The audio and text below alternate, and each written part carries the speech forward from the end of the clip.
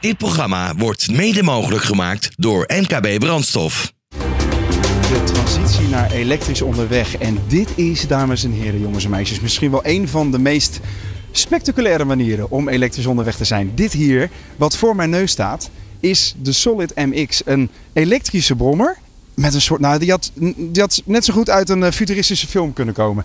Ik zal hem even omschrijven voor de, uh, de, degene die nu niet in staat is om uh, mee te kijken naar deze show. Het is een heel rank frame. Hij is, nou wat zal het zijn, een centimeter of uh, 25 in breedte met een heel grote veer in het midden achter een accupakketje. Dat is omkleed met duidelijke roestvrij stalen panelen. Heel stoer, heel clean en...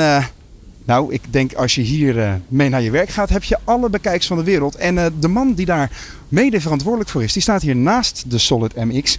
Ik ga er niet eens voor staan, cameraman Mark, want ik vind het zonde. Ik ga er even achter staan. Maar Harm Besseling, jij bent van, uh, van Next Motors, de, het moederbedrijf achter Solid. En jij bent zogezegd de geestelijk vader van de Solid MX. Kom even naast me staan, dan kan, dan, kan de kijker hem ook nog steeds bekijken. Um, waarom zat Nederland te wachten op deze Solid? Uh, nou, zoiets is er nog niet. Uh, iets wat ook echt degelijk is en niet de schijnduurzaamheid heeft van veel elektrische scooters nu. Schijnduurzaamheid, wacht even, daar ga ik meteen op aan. Wat bedoel je daarmee? Nou, als hier het huidige aanbod in de markt, dat is heel veel plastic en niet zulke goede batterijen. En dat is gemaakt om uh, duurzaam te doen, maar die, na een paar jaar is het, uh, valt het uit elkaar bij wijze van spreken. Ja.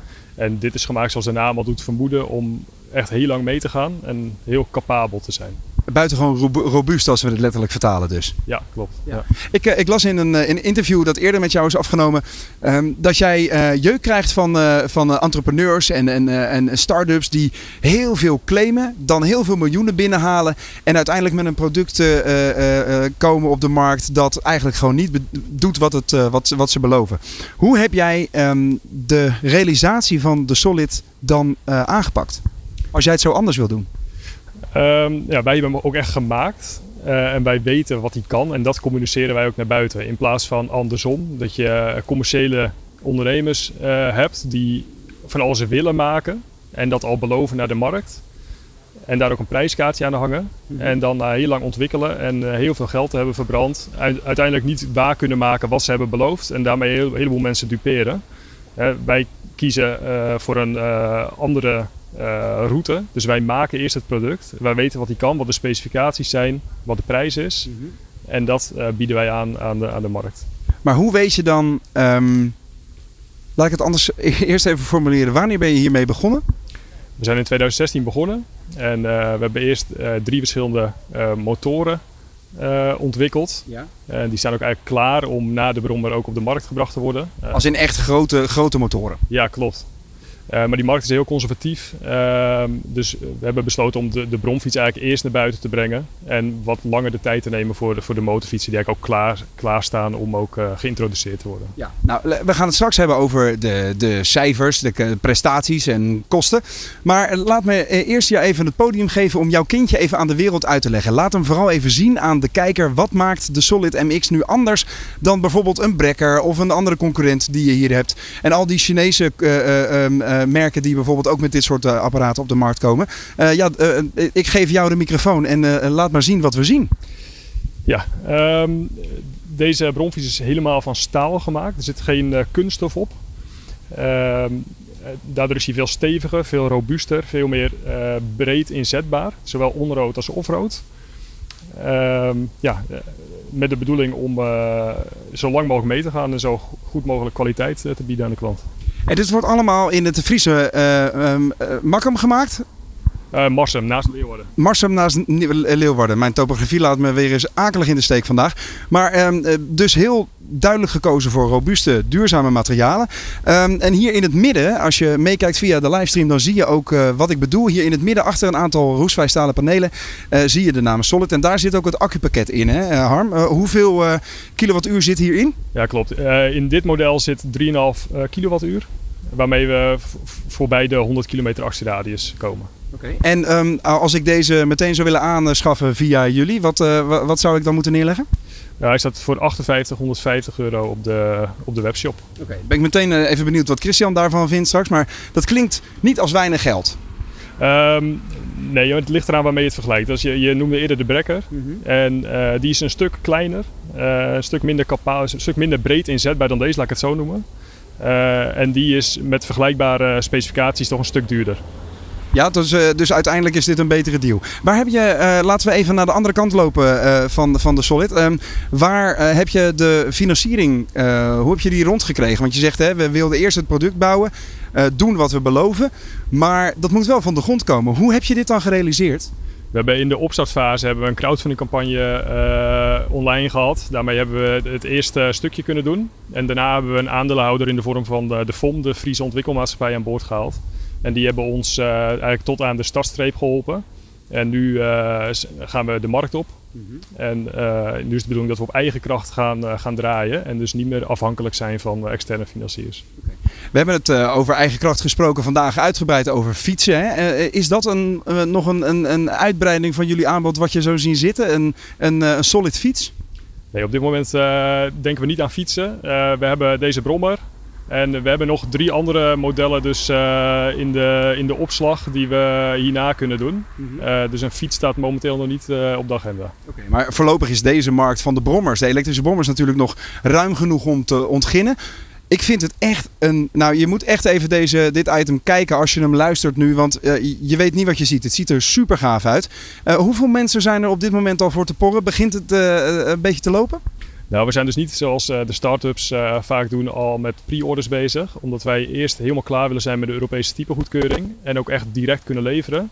Uh, dus we nemen geen pre-orders aan. Uh, dus we gaan hem ook echt pas verkopen als we klaar zijn met die Europese typegoedkeuring. Mm. En, en, dan kunnen de klanten hem bestellen en dan kunnen wij direct leveren. Maar dat is best een avontuurlijke aanpak. Want hoe weet je nou dat de markt groot genoeg is om dit toch helemaal van de grond te tillen dan? De markt is heel groot. De, de cijfers zijn heel goed ten, uh, ten opzichte van uh, de verhouding elektrisch op brandstof. Uh, dus die, dat is helemaal geaccepteerd bij brommers dat het elektrisch is. Dus die cijfers zijn heel goed. En we zijn een vrij compact bedrijf. Dus wij hoeven ook niet duizenden brommers te verkopen om winst te draaien.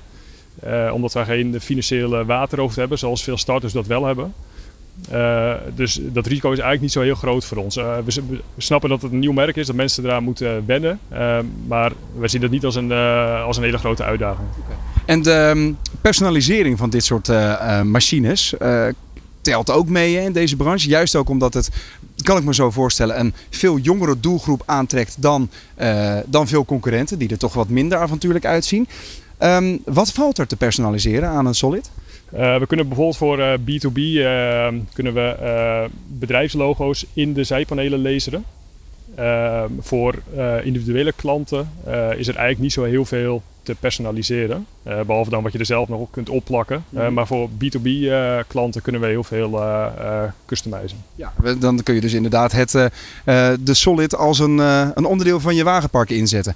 maar ik zag bijvoorbeeld ook op jullie site een exemplaar staan met wat op mijn eerste oog houten panelen leek op, de, op de zijkant. Of heb ik dat verkeerd gezien? Dat heb je goed gezien. Uh, dat is een, een uh, andere versie van deze. Um, deze heeft eigenlijk die plaats ingenomen. Ah. Dus die, uh, die zal eigenlijk verdwijnen.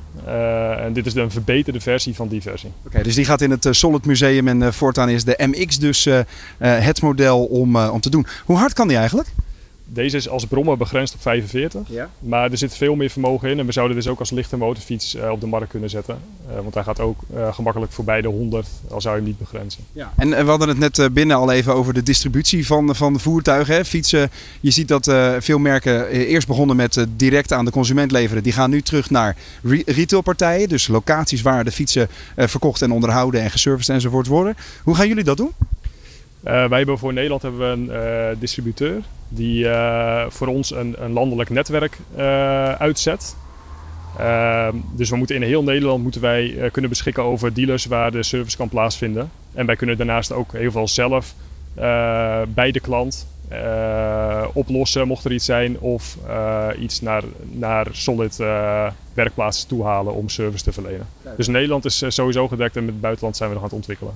Gek. Nou, uh, ik kan me zo voorstellen, uh, verplaats ik me even in degene die nu kijkt of luistert, dat um, men wel bereid is om hier een krappe 6000 euro voor neer te leggen, Harm. Um, ik kan hem niet pre-orderen, dat is tot daar aan toe. Maar hoe kan ik wel zorgen dat er binnenkort dan een Solid bij mij voor de deur staat?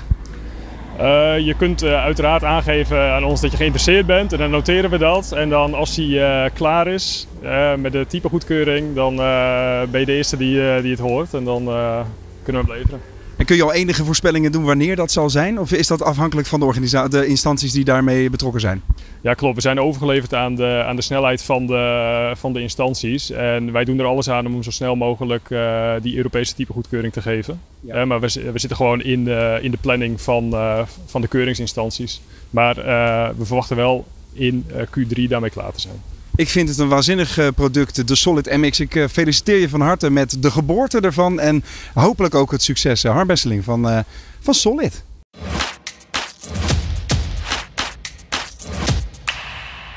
Dit programma wordt mede mogelijk gemaakt door NKB Brandstof.